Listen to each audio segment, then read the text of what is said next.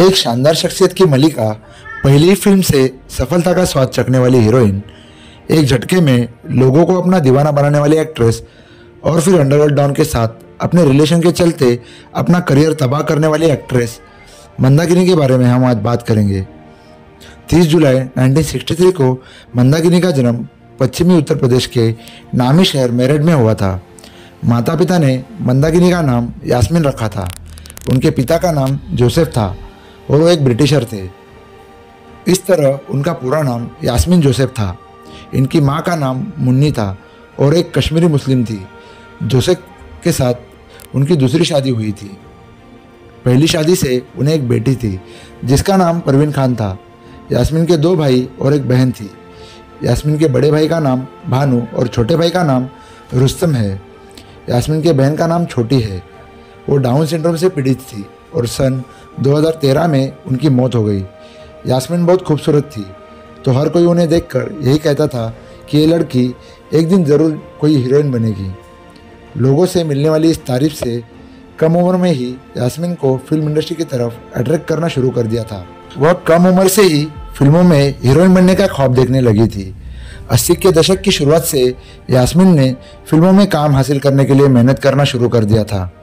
सनी देओल की debut film बेताब और फिर 1983 में आई फ़िल्म लावा के लिए उन्होंने ऑडिशन भी दिया था, लेकिन उनकी किस्मत ने उनका साथ नहीं दिया और ये फ़िल्में इन्हें ना मिल सकी। यास्मीन की किस्मत ने उस वक्त एक करवट ली थी, जब कुमार गौरव के साथ इन्हें एक अघोषित फ़िल्म के लिए चुना गया था।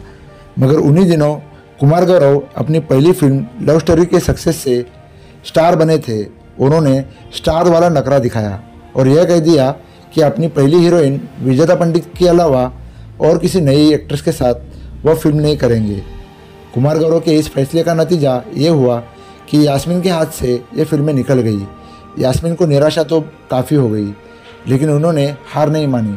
फिर यास्मीन ने कुछ ऐसी फ़िल्में भी साइन की जो कभी बनी नहीं पाई। मगर 1985 में यास्मीन को एक ऐसी फ़िल्म मिल गई जिसने उनको फ़िल्म स्टार्स और फ़िल्म इंडस्ट्री से जुड़े हुए लोगों के बीच उठने बैठने का मौका दिला दिया।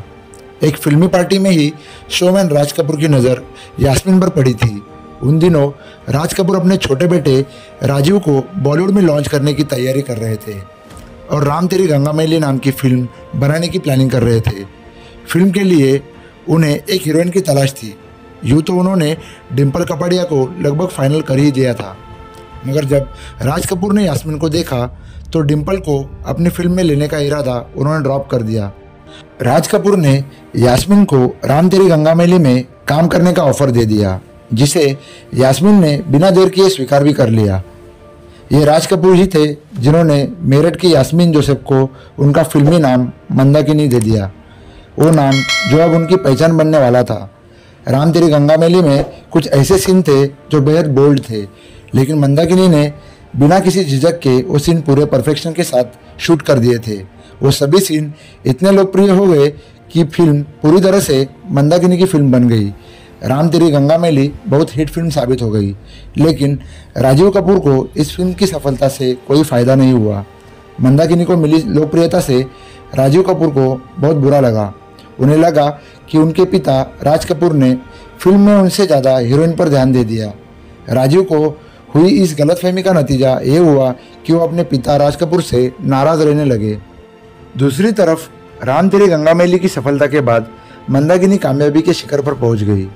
बैक टू बैक उन्होंने कई सारी फ़िल्में साइन की। हालाँकि, राम तेरी गंगा जैसी कामयाबी मंदाकिनी को फिर कभी नहीं मिल पाई। पहली फ़िल्म के बाद इक्का दुक्का फ़िल्में ही ऐसी रही, जिनमें मंदाकिनी के काम की तारीफ़ हुई। लेकिन बाकी दूसरी फ़िल्मों में इनके किरदार बहुत ज़्यादा दमदार नहीं रहे। मंदाकिनी ने रंजीत विर्क की फ़िल्म मजलूम सबसे पहले साइन की थी। लेकिन राम तेरी गंगा मैली में बिज़ी होने के कारण वो इस फ़िल्म पर बहुत ज़्यादा ध्यान नहीं दे पाई। नतीजा ये हुआ कि ये फ़िल्म राम तेरी गंगा मैली से एक साल बाद, यानी 1986 में रिलीज़ हुई। इसी वजह से रंजीत विर्क मंदाकिनी से काफ़ी नाराज़ भी रहने लगे थे।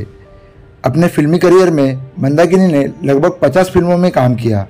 मंदाकिनी का करियर जब अपने शीर्ष पर था, तभी उन्होंने doctor Kabir T. Rinpoche Thakur इनके साथ शादी कर ली। तिब्बती मूल के डॉक्टर ठाकुर मंदाकिनी से मिलने से पहले एक बहुत भिक्षु हुआ करते थे। डॉक्टर ठाकुर दलाई लामा के भी फॉलोअर है। सत्तर के दशक में मर्फी के मशहूर एडवर्टाइज में नज़र आया वो क्यूट बच्चा, दरअसल मंदाकिनी के पति doctor Kabir T. Rinpoche Thakur ही थे। शादी के कुछ साल बाद ही मंदाकिनी उस वक्त विवादों में नज़र आ गई। जब अंडरवर्ल्ड डॉन दाऊद इब्राहिम के साथ उनकी कुछ तस्वीरें सामने आई। उन तस्वीरों में ये दाऊद संग दुबई में मैच देख रही थी। ये तस्वीरें सामने आने के बाद मंदाकिनी के बारे में अफवाह उड़ने लगी कि उन्होंने दाऊद से शादी कर ली है और दाऊद के बच्चे की माँ बन चुकी है। हालाँकि मंदाकिनी ने इन खबरों को कोरी बकवास बताया था। उन्होंने कहा था कि वो दाऊद को जानती ज़रूर है लेकिन उसके गैरकानूनी धंधों के बारे में उन्हें कोई जानकारी नहीं है। और ना ही दाऊद से उनका कोई अफेयर भी रहा है। शादी और बच्चों का तो कोई सवाल ही पैदा नहीं होता। वक्त के साथ दाऊद वाली कंट्रोवर्सी से मंदाकिनी बाहर आ गई, लेकिन इसका बहुत बुरा असर उनके करियर पर पड़ा। मंदाकिनी को अच्छी फ़िल्में मिलनी बंद हो गई और धीरे धीरे मंदाकिनी फ़िल्म इंडस्ट्री से दूर होती चली गई। मंदाकिनी की आखिरी फ़िल्म जोरदार थी, जो 1996 में आई थी। एक दौर में जवा दिलों की धड़कन रहने वाली मंदाकिनी अब बुद्धिस्ट तौर तरीकों से अपनी ज़िंदगी गुजार रही है। मुंबई में मंदाकिनी तिब्बतन योगा सेंटर चलाती है। मंदाकिनी को उनके जीवन की हर वो खुशी मिले जिसकी वो ख्वाहिश रखती है। तो दोस्तों, मंदाकिनी के बारे में जानकारी आपको कैसी लगी, हमें कमेंट द्वारा ज़रूर बताएँ। हमारे चैनल को सब्सक्राइब करना ना भूलें। धन्यवाद।